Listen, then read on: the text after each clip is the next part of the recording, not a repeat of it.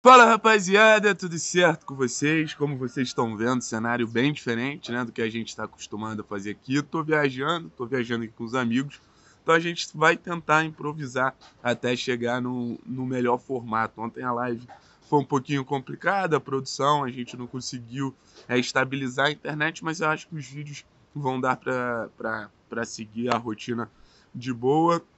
Convido vocês a acompanharem até o final, deixarem o like, se inscreverem no canal, deixem o um comentário que ajuda pra caralho no engajamento e vamos falar do grande drama do Atlético nessa temporada, que é questão de botar a bolinha dentro do gol, de finalizar com qualidade, com capacidade. E é curioso esse problema, porque eu acho que o Atlético poderia ter outros problemas, mas depois do final da temporada passada, onde foi um time que a palavra eficiência, que a palavra eficácia predominou tanto nas coletivas do Paulo Autori, e a gente viu realmente um Atlético eficiente em campo. Lembrando do time da arrancada do segundo turno, era um time que tinha mais ou menos as mesmas peças, tinha muito menos oportunidades de acabar fazendo gol. Eu acho que tem alguns jogos muito simbólicos nessa, nessa narrativa, assim. Se a gente for lembrar o jogo contra o Bragantino, duas chances de gol. O gol do Kaiser e uma bola na trave do próprio Kaiser. O jogo contra o Atlético Mineiro no Mineirão foi outro jogo que o Atlético conseguiu aproveitar muito bem as oportunidades que o jogo acabou oferecendo, né? Então eu não imaginava que a gente teria esse problema, lembrando do retrospecto da temporada passada, mas acontece. O Atlético tenta jogar de maneira mais propositiva esse ano, tenta fazer um futebol mais ofensivo. Parte da torcida e alguns membros do clube também se sentiam insatisfeitos com, com o futebol apresentado. O Atlético é um clube que se cobra muito jogar de maneira ofensiva e desde a chegada do Antônio, desde a consolidação dessa nova comissão técnica, a gente vê uma equipe que busca mais o gol, uma equipe que busca ficar mais no campo do adversário, uma equipe que busca ser mais predominante, ter mais momentos de domínio no jogo. Algo que eu sempre tento abordar aqui com vocês, que vocês é, vão ver o Atlético dominando, vocês vão ver o Atlético sendo dominado e vocês vão ver o Atlético disputando. Então é um time que tenta aumentar essa zona de domínio, tenta ser mais predominante em relação ao seu adversário. Acho que até vem conseguindo, se a gente for levar em consideração, é um time que fica mais com a bola, é um time que finaliza mais e é um time que cria oportunidades de gol reais. O jogo contra o Havaí foi uma situação assim que era para sair com 4 a 1 era para sair com 3 a 1 se fosse um time mais eficiente, se fosse um time mais eficaz. Essas palavrinhas parece que ficaram na temporada passada mas como recuperá-las também, né? Porque a gente tem um problema, todo mundo sabe que o problema está ali. Não é nenhuma grande novidade o problema. Ontem, se a gente for pegar na memória, teve um gol perdido pelo Renato Kaiser logo no começo. Tiveram algumas chances desperdiçadas pelo Nicão. Uma bola que o Vitinho tranquilamente poderia ter botado para dentro. Chance com, com o Carlos Eduardo. Então, todo o quarteto de frente teve a oportunidade de dar um conforto no resultado, mas não só no resultado também na eliminatória, sabe? O Atlético agora vai ter que jogar um pouquinho mais na Arena da Baixada, não acho que vai ter que ser muito mais. Como a gente falou, o Havaí, cara, em alguns momentos teve a bola, em alguns momentos foi até perigoso, rondou ali nossa área, principalmente depois das substituições do Claudinei de Oliveira. O Valdívia entrou muito bem no jogo, o Jonathan acabou fazendo gol, acho que o Rossato também deu mais, é, mais sustentação ali ao meio campo dos caras. Mas no geral, é um time que é um time que é mais fraco, é um time que é mais frágil, um time que na Arena da Baixada, se tudo der certo, é uma classificação para o Atlético se aprofundar nas, nas zonas mais tensas da Copa do Brasil, onde o enfrentamento vai ficar muito maior e fica o questionamento, né? No oitavos de final de Sul-Americana, em alguns jogos perigosos de Campeonato Brasileiro, como vai ser contra o Juventude no domingo? Enfrentar o Juventude em Caxias do Sul, enfrentar o Juventude na Serra Gaúcha, sempre, sempre, sempre. É muito complicado. Historicamente é um jogo muito difícil, sabe? Se a gente perder 4, 5, 6 chances, será que a gente vai conseguir pelo menos o um empate ou vai sair derrotado? Sabe?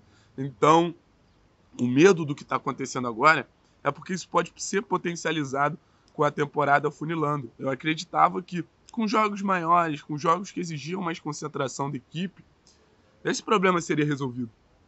E a questão é, o Atlético não tem só esse problema algumas questões de encaixe, algumas questões de deslizes defensivos. Os tropeços da equipe com Antônio Oliveira, os dois partiram de deslizes é, defensivos. Contra o Melgar, o Nicão não acompanha a jogada. No jogo contra o Havaí, o Jonathan finaliza cercado de jogadores e nenhum tenta o contato mais físico, sabe? Mas voltando a falar na questão da ofensividade, voltando a falar da questão da bolinha na rede, eu acho que algumas perguntas podem começar a ser feitas. Será que enca... tá passando uma moto aqui extremamente barulhenta? Vou deixar passar para fazer a pergunta. Mas será que esse, que esse sistema ofensivo extremamente incapaz é uma justificativa para se manter o Vitinho no time titular? Porque o Vitinho é um caso curioso, assim. O Vitinho é um jogador que ele tem uma movimentação ruim, ele constrói pouco, ele oferece muito pouco para o jogo. É uma tecla que eu bato muito, muito, muito, muito aqui, há muito tempo. Você tem um jogador de lado, um extremo, que vai ter um enfrentamento em diversos momentos contra os zagueiros adversários, contra os laterais adversários. E ele oferece tão pouco para o jogo, ele entrega tão pouco para a partida, para o jogo do Atlético, mas ele continua sendo escalado. A questão é, a gente sabe toda a capacidade ofensiva, a gente sabe toda a capacidade de finalização do Vitinho. A partir do momento que a gente tem essa noção, será que o Vitinho está sendo escalado pelo problema do Atlético? Uma tentativa de resolução de uma situação que vem incomodando ao longo de toda a temporada? Eu não consigo, eu não consigo imaginar. Eu não consigo imaginar outra explicativa. Porque é um jogador que, que vem entregando muito pouco, cara. O, o jogo do Vitinho, sem os gols do Vitinho, é um jogo muito pobre. O Atlético tem outras alternativas. Tem um Iago, tem um Canezinho, sabe? Se quiser inventar mais, por que não tentar é, Babi e Kaiser junto? É uma situação assim que muita gente me perguntou, me questionou aqui após a chegada do Matheus Babi. Dois jogadores que ocupam mais ou menos a mesma faixa do campo, mas são dois jogadores diferentes, dois jogadores com movimentações diferentes, dois jogadores com comportamentos diferentes.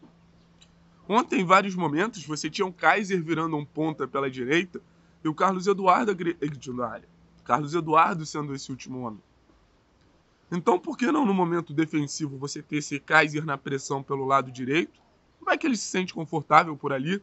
Lembrando que o Renato Kaiser no Vasco, o Renato Kaiser no Cruzeiro, o Renato Kaiser no Tupi, não era esse homem de área. Foi se consolidando esse homem de área a partir da sua passagem pelo Atlético Goianiense. E foi muito bem, não vamos criticar. Mas quem sabe trazendo dois especialistas, porque na teoria a gente imagina que os atacantes têm esse, esse dom, né, essa capacidade de fazer gols. E lembrando que foram dois atacantes que tiveram um retrospecto muito bom em frente em frente à Redinha na temporada passada. Foram dois atacantes que fizeram uma boa temporada, fizeram bastante gols, fizeram é, por merecer uma credibilidade maior. Então fica, fica, fica o questionamento aí. Pensar soluções. Tá incomodando? Tá incomodando. Sabe? Então é uma situação assim que eu acho que dá para ser resolvida. Eu acho que a muleta de contratar é uma situação assim inexplicável ao ponto de sempre que você tiver um problema, você vai buscar reforço no mercado? Por que você não tenta resolver esses problemas? Por que você não vê uma situação incômoda e tenta melhorá-la? E tenta trazer um pouquinho da sua expertise, trazer um pouquinho do seu know-how do jogo e qualificá-la. Eu não estou falando de um time extremamente incapaz de fazer o que a gente pede para que o time faça. Estou falando de um time que já fez o que a gente está pedindo. Então, é um drama. Acho que já chegou numa situação calamitosa, assim, da gente parar e pensar e falar: cara, não tem justificativa. É detalhe, cara. É detalhe. Mas se a gente vai fazer o quê? Vai barrar o Nicão? A gente vai dar confiança, sequência e treinar para a gente ter nosso melhor jogador entregando mais? Para a gente ter nosso jogador agregando mais? sendo realmente decisivo. Eu fiz uma pergunta ontem no vídeo, e não é uma pergunta afrontosa, não é uma pergunta para dar porrada no Nicão. Mas qual foi o último jogo que o Nicão decidiu? Qual foi o último jogo que o Nicão botou debaixo do braço? Poderia ter posto ontem, poderia ter posto contra o Havaí. Mas a incapacidade defensiva do Nicão, ofensiva do Nicão, capacidade de botar a bolinha dentro do gol, defensiva a gente sabe que ele tem, né? Um problema de recomposição. mas a capacidade ofensiva impediu que ele resolvesse o jogo. Isso é um exemplo mais vivo. Já existiram outros exemplos. E olha que eu acho que o Unicão acabou fazendo uma boa partida. Mas como eu falei, foram vários e vários lances, foram várias e várias oportunidades em pés de jogadores diferentes. Então, é, é treinar, é dar confiança, é melhorar e no final das contas é tentar buscar alternativas. Kaiser e Babi talvez seja mais próxima para a gente ter mais eficiência, tem o Terãs voltando aí. Vamos ver.